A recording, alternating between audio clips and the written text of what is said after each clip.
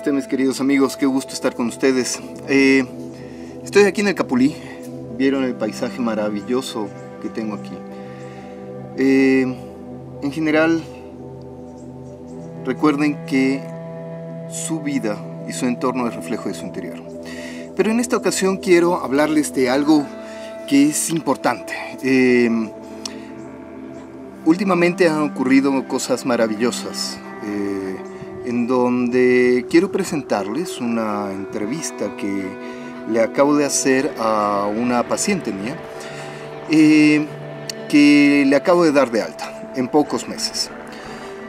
Y ella tenía, eh, sufría de un trastorno que se llama trastorno de despersonalización y desrealización.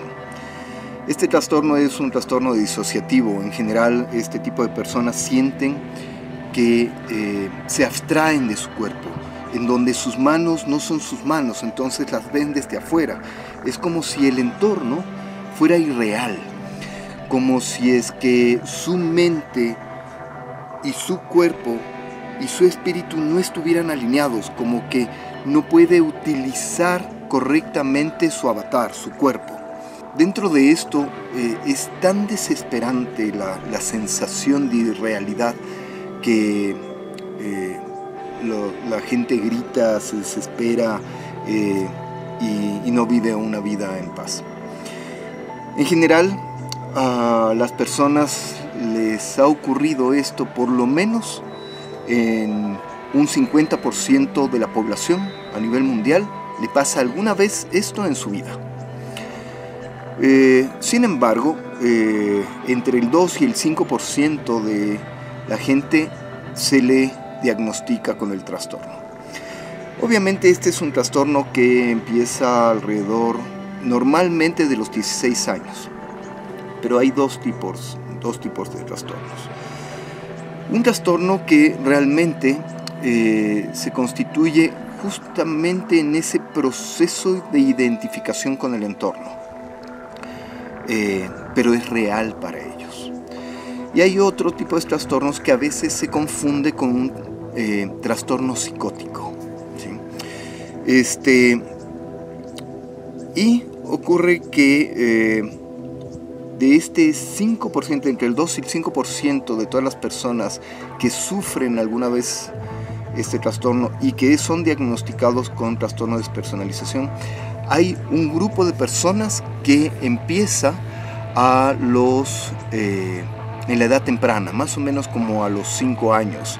4 o 5 años, estos niños eh, empiezan a ver todo su entorno desde afuera, empiezan a ver eh, como si estuvieran haciendo un viaje astral, pero están de forma local, en donde no se adaptan a su cuerpo, en donde se ven eh, su cuerpo, en donde ven el entorno como si fuera irreal. Entonces eso es un, un mecanismo que, que realmente es muy dramático para, para este tipo de enfermedad. ¿Por qué empieza generalmente este tipo de trastornos? Bueno, muchas veces ocurren cuando hay un temor muy extremo, entonces se disocian del cuerpo, salen del cuerpo para tratar de soportar ese evento muy aversivo que pudieron haber tenido. A veces se da por abuso físico o violencia doméstica, en otras ocasiones hay, hay veces en donde tienen que eh, los niños este, eh, soportar a, padres que pueden estar minusválidos o pueden estar este, mentalmente afectados. ¿sí? Pero por lo general empieza cuando hay un estrés eh, muy alto. Rara vez se da en los adultos. Sí puede ocurrir, hay casos en donde eh, personas de 40 años de edad empiezan con el trastorno y es porque a veces tienen un estrés muy alto financiero, se han divorciado, perdieron a alguien o se les murió alguien. Y claro, eso hace que eh, eh, aparezcan estos síntomas. Evidentemente los síntomas son múltiples, ¿no? pero principalmente se dan los síntomas, sobre todo de despersonalización, se dan en el propio cuerpo, en la mente, los sentimientos, sienten como que los sentimientos no son eh, propios, este, que son ajenos, que ves a las personas como irreales y eh, hace que eh, realmente tengan un, serio problema de, adaptación al entorno. Lo cual es grave, ¿no? Porque es angustiante para esas personas. Este, y, no pueden vivir, no pueden vivir con eso. Eh, yo les decía que hay dos tipos de personas. Hay, personas que en general tienden a eh, eh, presentar estos síntomas porque viendo desde otro punto de vista más universal y holístico, el planeta Tierra es un pequeño punto azul en la tercera parte externa de una pequeña galaxia. Estamos en tercera densidad, en tercera octava vibracional, en la escala 19 y pasando casi a cuarta densidad. Y a punto de dar un salto a quinta densidad. Para poder dar ese salto han venido muchos niños, muchos seres de luz que lo único que vienen a hacer al planeta es elevar el nivel de vibración del planeta. Y eso se puede medir. O sea, hay una, una vibración que se llama resonancia Schumann, la pueden seguir en el internet y eso está, es público o sea, no me estoy inventando nada que no sea muy científico. Sin embargo, estos niños eh, son niños que en general les cuesta adaptarse, como en tercera densidad nosotros no tenemos nuestra memoria de dónde venimos. Ocurre que eh, a estos chicos, a estos niños, a estos jóvenes, les cuesta enormemente el poder adaptarse a eh, sus avatares. Entonces no quieren estar aquí, sufren enormemente por el mal que existe en el planeta. Este, y claro, esa falta de adaptación, ese, el ver las calamidades, las enfermedades, la desidia, este, la mentira, la muerte, eh, eh, hace que ellos sufran muchísimo y que quieran irse del planeta. ¿Por qué? Porque no tienen su memoria, como no tienen claro a qué vinieron en el planeta, eh, les cuesta muchísimo adaptarse. Entonces, hay este tipo de niños. Yo les voy a presentar justamente uno de estos niños, uno de estos niños en donde eh, fue tratado eh, obviamente con terapia psicológica, con terapias de tercera generación que son basadas en el compromiso de la persona, en donde tú le trasladas el compromiso de la persona. Entonces son terapias cognitiva-conductuales avanzadas. Eh, y, pero principalmente lo que se utilizó es Reiki. El Reiki, eh, correctamente usado y obviamente hay que entender de del linaje correcto y de la forma de ver eh, la vida eh, correctamente y con las frecuencias adecuadas y en el método adecuado, lo cual le tienen que enseñar su maestro a utilizarlo para poder sanar este tipo de personas. ¿sí? Entonces, eh, quiero presentarles justamente esta niña, la cual ya le di de alta y eh, el tratamiento fue muy rápido. Entonces les dejo con la entrevista, ha sido un gusto. Eh, para todos los que están siguiendo y que han visto también el video de eh, la energía que están buscando los arcontes, vamos a complementarlo. estoy preparando un par de videos en donde, por un lado, voy a hacer un video de buenas prácticas, porque en el Reiki, un video de buenas prácticas en el Reiki que es muy dilucidador, muy bueno y que es muy sugerente seguir dentro de las buenas prácticas porque de esa forma eh, evitas un montón de, elementos que no son útiles. Y estoy preparando otro video este, que es acerca de eh, en qué consiste la sintonización y, para qué sirven los símbolos Reiki. Eh, y justamente estoy preparando porque han aparecido últimamente muchos elementos, muchas cosas que eh, están eh, haciendo que la gente piense que los símbolos son malos, los símbolos solamente son dibujos, pero hay símbolos activos, que vamos a ver de dónde vienen, cómo se utilizan y para qué sirven. Les dejo con la entrevista, es un gusto estar con ustedes siempre y nos vemos prontito en el resto de videos, espero que les guste mucho la entrevista. Terminen a ver hasta el último, les sugiero que les terminen de ver hasta el último porque eh, realmente el resultado es maravilloso. Namaste, ya nos vemos en la entrevista.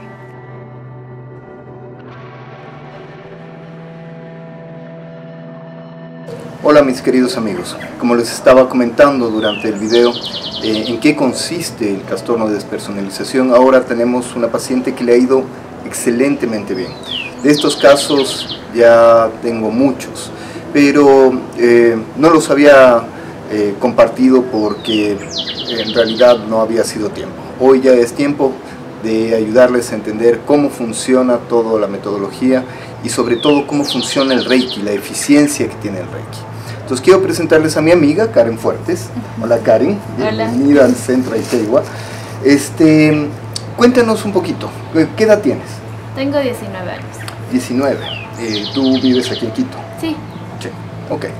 Eh, quiero que compartas con nosotros eh, este, esto que sentías desde chiquitita. Cuéntanos a qué edad empezó todo lo que sentías y qué sentías. Ok, ya, primero cuando yo siento lo que, pasó, o sea, pasó, pasó, fue como a los cinco años. Cinco años. Ajá, que me desperté y sentí como que no estaba aquí, pero sabía todo, algo así. Ajá. O sea, y, y, describe eso como que no estaba aquí.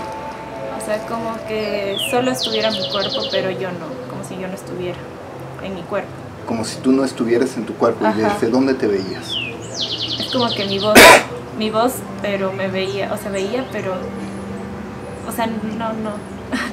Trata de explicarlo. Es como que veía, como que me veía como si estuviera afuera, pero de aquí mismo, me veía de aquí mismo, pero sentía que no estaba mi cuerpo. Pero como era chiquito, o sea, no le tomé mucho asunto, o sea, fue como que un normal, así. Y ahí solo sentí que ya sabía todo, como que ya estaba así con mi familia y todo eso, pero a la vez no. Ok. Em, ¿Y eso cómo te hacía sentir? Ahí en ese entonces, mm, bien, o sea, creo que durante todos los años que sentía y eso, eh, me sentía bien y me sentía como si estuviera drogada. Ajá pero... Pero no tomabas ninguna Ajá, no. no, me drogaba. Y, o sea, me sentía así como si estuviera drogada, pero lo tomaba bien, normal, normal. Y ya después con los años empezaron a pasar más cosas y... ¿Qué otras cosas pasaron con los años? O sea, con respecto a mi, a mi familia. Ah, a tu familia. Ajá. Ajá, con respecto a mi familia, amigos, cosas así que me dañaron, me lastimaban. Entonces, después ya, ya eh, seguía viendo... Para esto, estas cosas que te lastimaron en la familia, las cosas, ¿a qué edad ocurrieron? Porque ya te empezaste a dar cuenta a los cinco años del síntoma. Para esto, ¿cuánto tiempo pasó después? O sea... ¿Qué, qué, qué tiempo eh, ¿A qué edad ocurrieron estas cosas que te lastimaron? Creo que durante toda mi vida. Ajá, pero donde se agravaron más a los 12. A los 12 años. 12 y era como que... Pero durante estos 7 años, desde los 5 a los 12, este, realmente seguías sintiendo el mismo síntoma. Ajá, pero sentías como que sentía y después no sentía. Ajá, o sea, iba y venía. Iba, iba y venía. Exacto, iba y venía, pero yo no sabía, o sea, yo no sabía que eso estaba pasando, pero sentía a la vez, como extraño.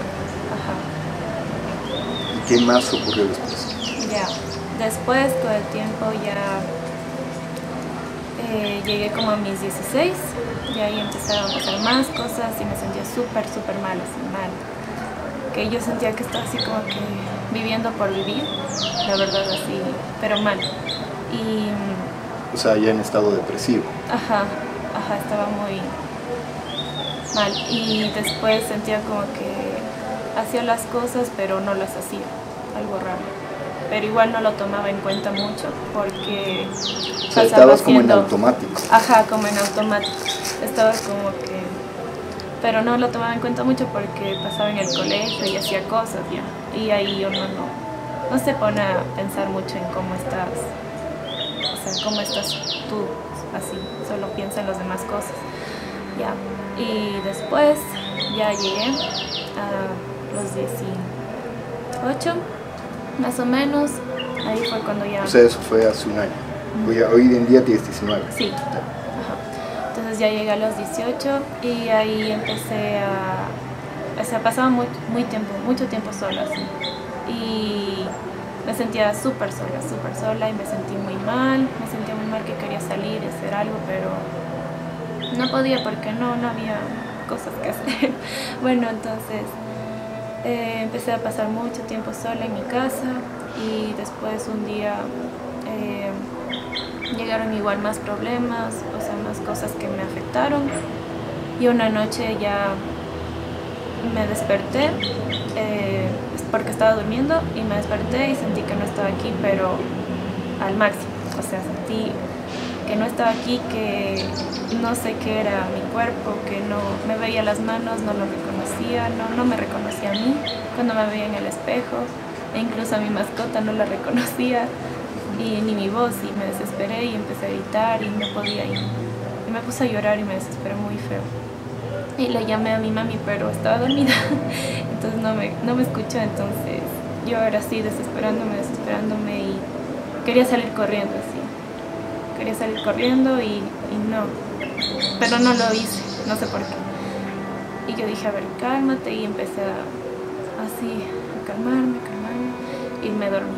Pero después igual, seguía sintiendo ese síntoma, pero muy mal, así como si estuviera mareada todo el tiempo, pero muy fea la sensación, fue muy fea la sensación.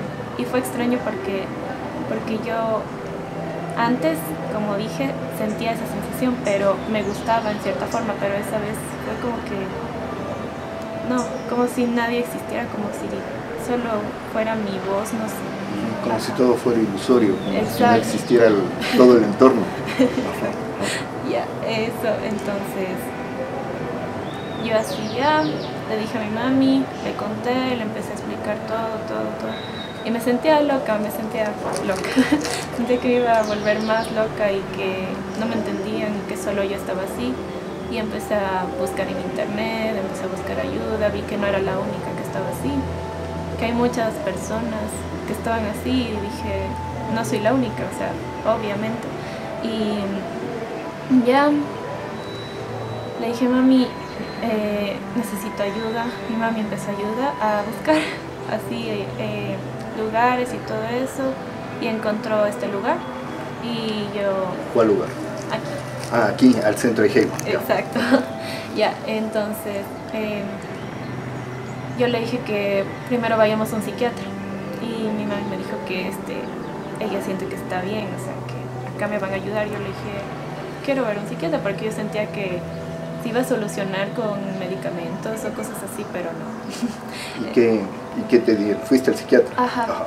Fui al psiquiatra y me dijo que tenía trastorno de despersonalización, lo que yo ya sabía porque yo había buscado por internet y todo eso. Y mm, que mm, me mandó antipsicóticos y antidepresivos. Y que me dijo que durante un año debo consumirlo. Y yo, yo me quedé como que, wow, o sea, un año consumiendo medicamentos, pero bueno, compré los medicamentos y ya empecé a tomarlos, pero me sentía peor. me sentí... ¿Te sentiste peor? Sí, me sentí muy... ¿Y qué sentías? Me sentía loca, loca, sentía como si... como loca, como que nadie existe, nadie más, o sea, pero nadie, nadie, nadie. Es como si se hubiera intensificado más esa sensación que sentía, pero más, o sea, mal sentía que era como un zombie, que pasaba así, que... Y me sentía peor, o sea, lloraba y a veces me cogían como episodios diciendo, no, no estoy aquí y así. Y dije, no, debo dejar de tomar eso. Y ahí ya vine para acá. Después de dos meses, creo. Pero solo tomé durante dos semanas. Ajá. Bien, entonces, claro, llega este, aquí y eh, empezamos a hacer un tratamiento, primero entendiendo qué es lo que ocurre.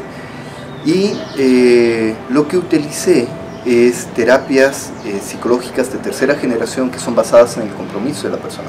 Se traslada el compromiso hacia la propia sanación de la persona, pero principalmente eso se combinó este, con Reiki. Entonces, claro, empezamos a hacer Reiki y ahí cuéntanos la experiencia de qué es lo que empezó a ocurrir. Porque llegaste la primera vez aquí, cuéntanos la experiencia de estos, porque estamos trabajando desde agosto. Hoy estamos ya a eh, finales de noviembre eh, y eh, cuéntanos la experiencia. Y nos hemos estado viendo una vez por semana, ¿no? Ajá, sí, una vez por semana. Ya, bueno, yo vine y me sentía muy, muy mal, o sea, yo sentía que no iba a estar feliz nunca, la verdad, nunca. Y empecé con el Reiki. Es como que si quisiera, como si hubiese querido despertar hace mucho, pero me estanqué el Reiki me ayudó bastante y viniendo cada vez me sentía mejor y de verdad sentía la energía que corría en mi cuerpo cuando después de terminar el Reiki y o sea es increíble porque me sentía muy feliz sentía que estaba tan tranquila claro que ahí empecé a tener como que dolores en mi cabeza aquí en mi frente. Claro, se activó la glándula pineal. Y empieza a vibrar. Ajá. Y ahí empecé a entender todo, o sea, yo dije, wow. ¿Qué, qué empezaste a entender? O sea, toda la vida, o sea, ¿quién soy? ¿Qué soy? ¿Y por qué estoy aquí? ¿Por qué? ¿Por qué pasé todo? Ajá. Y fue bien bonito. Sí. Hermoso. Es que es, es un cambio, en serio. Hermoso, hermoso, Es un placer haberte ayudado. Ahora Karen ya se va a estudiar a Canadá. Pues le deseamos muchos éxitos en su viaje y en su nueva aventura de vida. Y estamos ahí a vuelta de llamada para seguir ahí. Eso es amigos, eh, los que necesiten, hay esperanza. Es un trastorno bien complejo eh, y que realmente sí se puede eh, salir de él. ¿sí? Sí, se puede. Sí se puede. Aunque parezca que no, sí se puede. Sí, sí se puede, o sea, definitivamente. Y no eres el primer caso, todos con trastorno de despersonalización, que en el mismo método han salido adelante y se sienten hoy en día muy bien. Eh, y como les había explicado antes en el video, eh, justamente es, por todo lo que este tipo de personas son muy especiales y que vienen al planeta a ayudarnos. Muchas gracias, nos vemos pronto. Namaste. Como es mi costumbre, que todo el amor del universo les tiene de salud, paz, amor y abundancia. Namaste. Gracias. Gracias.